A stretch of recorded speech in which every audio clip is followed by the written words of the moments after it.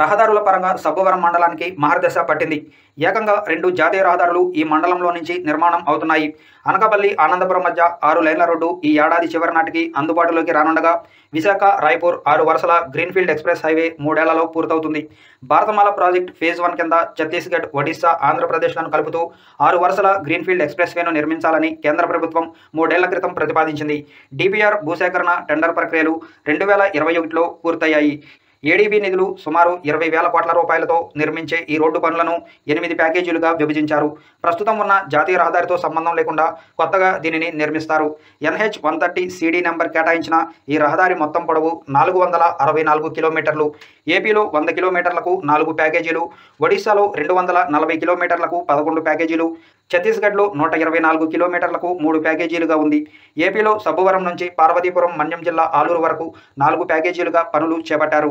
ఆలూరు నుంచి జక్కువ వరకు ఒకటో ప్యాకేజీ జక్కువ నుంచి కొర్లం వరకు రెండో ప్యాకేజీ కొర్లం నుంచి కంకటాపల్లి వరకు మూడో ప్యాకేజీ కంకటాపల్లి నుంచి సబ్బవరం వరకు నాలుగో ప్యాకేజీగా విభజించారు.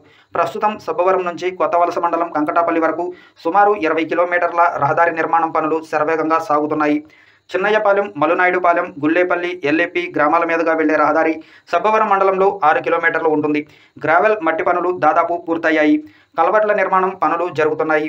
కొత్త వలస మండలం గులివిందాడ గ్రామం వద్ద టోల్ ప్లాజా నిర్మాణం జరుగుతుంది. వాస్తవంగా వచ్చే ఏడాది చివరి నాటికి గ్రీన్ఫీల్డ్ ఎక్స్ప్రెస్ వే నిర్మాణం పూర్తి కావాలి. అయితే కొన్ని కారణాల వల్ల ఏడాది ఆలస్యంగా రెండు వేల ఇరవై ఐదు నాటికి పూర్తవుతుందని ఎన్హెచ్ఏఐ అధికారులు చెబుతున్నారు. విశాఖ రాయ్పూర్ మధ్య ప్రస్తుత దూరం ఐదు వందల తొంభై కిలోమీటర్లు. ప్రయాణ సమయం పదమూడు నుండి పదిహేను గంటలు. కొత్తగా నిర్మించే ఎక్స్ప్రెస్ వే పొడవు నాలుగు వందల అరవై నాలుగు కిలోమీటర్లు. ప్రయాణ సమయం ఏడు గంటలని అధికారులు అంచనా వేస్తున్నారు. ఎక్స్ప్రెస్ వే అందుబాటులోకి వస్తే విశాఖ రాయపూర్ మధ్య దూరం దాదాపుగా చాలా తగ్గుతుంది. ప్రయాణ సమయం ఏడు గంటలని అధికారులు అంచనా వేస్తున్నారు. మూడు రాష్ట్రాలను అనుసంధానం చేసే ఈ రహదారి అనకాపల్లి ఆనందపురం మధ్య సబ్బవరం మండలం చిన్నయ్యపాలెం వద్ద ఎన్హెచ్ సిక్స్టీన్ను కలుస్తుంది. ఇక్కడి నుండి అమృతపురం నర్వ మీదుగా శీలానగర్ వరకు కొత్తగా ఆరు వరుసలతో జాతీయ రహదారి నిర్మిస్తారు. ఒకప్పుడు స్టేట్ హైవే మాత్రమే ఉన్న సబ్బవరం మండలంలో ఇప్పుడు రెండు జాతీయ రహదారులు ఏర్పాటవుతున్నాయి. అనకాపల్లి ఆనందపురం మధ్య గతంలో ఉన్న ఆర్ఎన్బి రోడ్ను ఎన్హెచ్ సిక్స్టీన్కు అనుసంధానం చేస్తూ ఆరు వరుసలుగా నిర్మిస్తున్న విషయం తెలిసిందే. అనకాపల్లి సబ్బవరం పెందుర్తి బైపాస్ రోడ్లు మినహా మిగిలిన ప్రాంతాల్లో పనులు పూర్తయి వినియోగంలోకి వచ్చింది.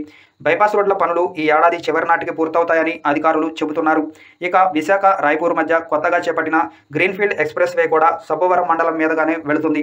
సబ్బవరం మండలంలో సూర్రెడ్డిపాలెం నుంచి శిలానగర్ వరకు హైవే పనులు కూడా పూర్తయితే విశాఖ రాయ్పూర్ ఎక్స్ప్రెస్ వే పూర్తి స్థాయిలో అందుబాటులోకి వస్తుంది. దీంతో విశాఖ నగరంలో పాత జాతీయ రహదారిపై భారీ వాహనాల రద్దీ పూర్తిగా తగ్గుతుంది.